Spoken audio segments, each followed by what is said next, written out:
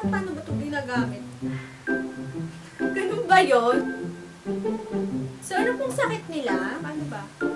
Ano ba to? Hindi ka naglinis ng tenga mo. Ayan siya, isang box yung kinuha ko. Sphygmomanometer, tsaka stethoscope.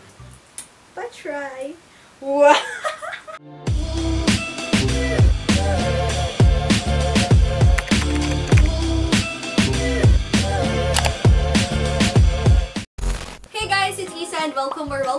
channel. For today's video, nakikita niyo naman sa tabi ko, yes, mga medical supplies yan na nabili ko sa Shopee. At, ayun guys, bumili ako sa Shopee dahil hindi kompleto yung mga medical supplies na nakita ko dito sa amin. At syempre, kailangan namin to sa RepDem kasi nursing student ako pero first year pa lang ako guys, kaya hindi pa ako familiar kung paano sila gamitin kasi magsa-start pa lang kami.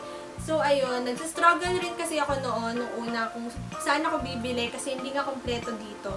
So, ayun, baka makatulong rin sa inyo kung di nyo rin alam kung saan kayo bibili. Dahil nga, syempre, may virus ngayon at yung iba din sa atin, ayaw din palabasin dahil nga may virus. So, ayun. Without further chika, let's jump right into the video.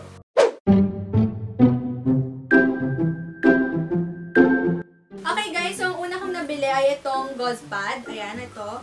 So isang box yung kinuha ko at sterile yung kinuha ko and may laman siyang 100 pieces na gauze pad. Tapos guys, mas mura siya compared sa napagtanungan ko dahil doon, isang piraso daw ay ano 7 pesos. So pag isang box daw 700. So i-compare niyo naman kung gaano kalaki yung difference ng presyo at sobrang mahal naman ng patong nyo. So ayan siya, isang box yung kinuha ko. So ilalagay ko na lang yung link niya sa description box guys para alam niyo kung saan kayo bibili. And advice ko lang maggamit kayo ng Shopee Pay para free shipping or may discount yung shipping fee. Next naman, dito tayo sa Indoplast. So, ang una kong nabili doon ay itong uh, sterile na wooden tongue depressor. Tapos, 100 pieces rin yung laman nito. At 6 inches siya, guys. So, ayan. Ito siya. So, ito yung mga laman niya. 199 pesos siya, di ba? Isang box na. 100 pieces. So, ito siya, guys.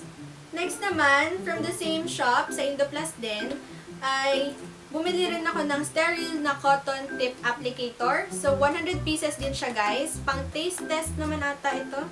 So, lalagyan mo ata ng blueberry cheesecake. blueberry cheesecake. So, ano, asin lang, salt yung ilalagay. Tapos, saka ano sa patient kung ganun. Tapos, 6 inches wooden stick din siya. And this is only for 149 pesos. Ayan. Ito yung sa Indoplast. Ayan siya. Okay, so isa pang nabili ko sa Indoplast guys ay itong um, thermometer. So ito ay 79 pesos lang guys. At sa napagtanungan ko, ang presyo niya ay 200. Ganun kamahal yung patong talaga doon.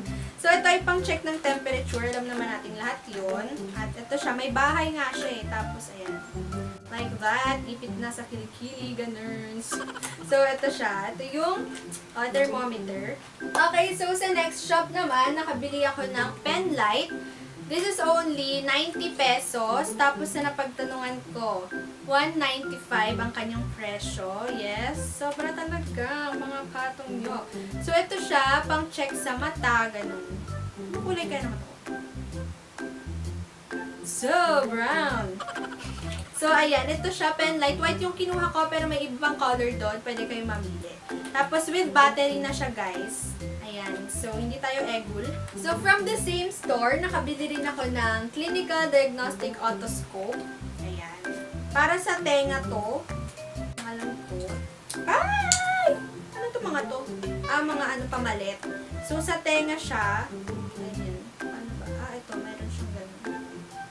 So, ba to? Ganito siya. Pipindot. Tapos gagano. Oo, hindi ka naglinis ng tenga mo. Maglinis ka muna.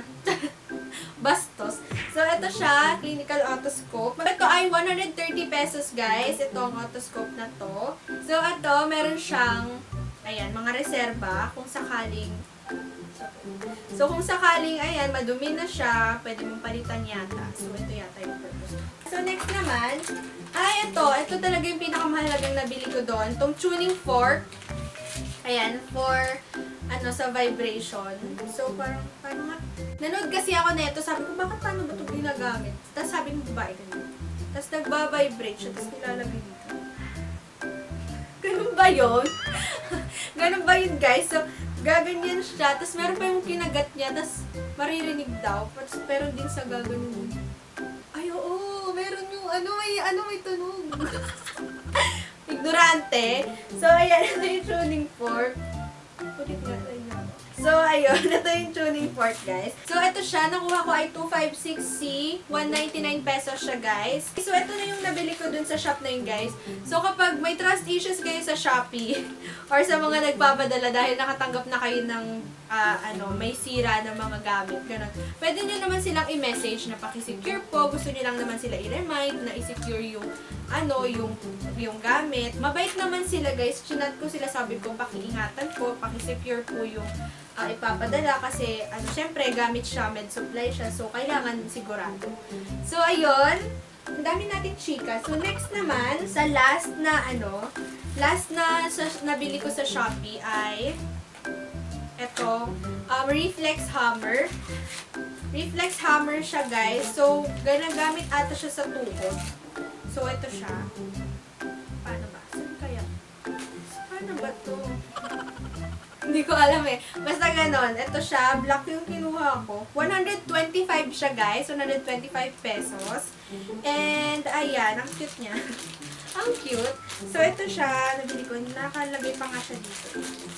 Tapos, nagsabay na lang din ako ng head cap. Kasi, wala lang for future purposes. Gusto mo lang. Gunners. Next naman ay yung Snellen E-chart. Hindi ko alam kung pin- pinopronounce ko siya ng tama. Pero yung Snellen E-chart na yon pang mata, yung ititest mo kung 2020 vision ba yung pasyente mo. Ayan. So, dapat bibili ako sa ano, sa Shopee. Pero naka-order kasi ako dito sa malapit. And nagsisisi ako dahil ang mahal ng benta sa akin. So, ayan. Yung mga kaibigan ko bumili sila sa shop na to. So, baka gusto nyong i-check. Ayan. Lalagay ko na lang dito.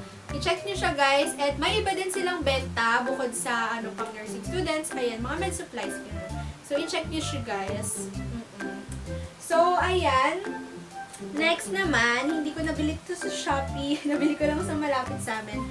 Okay, so, um, ito yung Boxtel na Spigmo, tsaka ito yung stethoscope. Spigmo manometer, tsaka stethoscope. Ayan, so nabili ko tong sa akin ng 1,600 pesos guys, yung benta sa akin. And nakakita rin ako ng ganito sa Shopee. Kasi hindi ko to nabili sa Shopee. Nauna kasi ako makakita dito sa malapit sa amin. Pero may nakita ko guys na mataas yung rating niya at Boxtel rin yung benta nila doon. So baka gusto nyong i-check. Kasi hindi ako doon nakabili ng Spigmo. And ayun, baka gusto niya lang i-check. So ilalagay ko dito at lalagay ko yung link sa description kung saan nyo din siya pwede mabili. Tapos bumili rin ako sa shop na yun ng ang arte. LV, yung kinuha mong mask, wala lang. Ito siya. Ito siya, guys. So, hindi ko pa nga siya nabubuksan. Nabuksan ko na pero hindi ko pa na-assemble. So, let me try to... Oh. Ano sakit mo? So, ganito siya. Um, ganito siya, nilalagay ko lang. Kung alam kung tama yung ginagawa ko. Pero, nilulusot ko na lang sa nakikita ko. So, ayan siya, guys. Pa-try. Wow! Paano ba to? Dapat yung mukhang ano. Mukhang marangal. So, ayan. So, ano pong sakit nila? What's your sakit po? What's your nararamdaman po? Maarte. So, ayan siya, guys. Try natin kung nagana. Grabe ngayon ko pa lang siya binubuksan. Ilang weeks na nasa akin to. Nagana. Ganun yung pinag-check na nanay ginaya ko lang. Pero, paano ba? Pwede ba ma-check? Okay, hayaan na natin. Saka na natin i-check. So, Okay guys, that is all for this video. Ayan, lahat ng nabili ko, yung mga link ilalagay ko sa description down below para alam nyo kung saan kayo pwede bumili ng mga med supplies. And try nyo rin mag-browse sa Shopee dahil marami doon. Pero always check kung ilan yung rating niya kasi usually dapat mga 4.8, 4.9, tsaka 5 doon kayo bumili para alam yun, sure na okay yung dadating sa inyo. And, ayan lang guys. Hindi pa ito lahat yon na kailangan namin sa Redem, pero ito lang yung nabili ko sa Shopee. So, ayun. Sana talaga ma-survive na natin tong online classes na to kasi hindi ako masyadong natutuwa. So, ayun lang. Thank you so much guys for watching. Do not forget to like, share, and subscribe to my channel. Hit the notification bell for you to be notified every time I upload a new video. Yun lang guys. God bless and stay safe. Bye!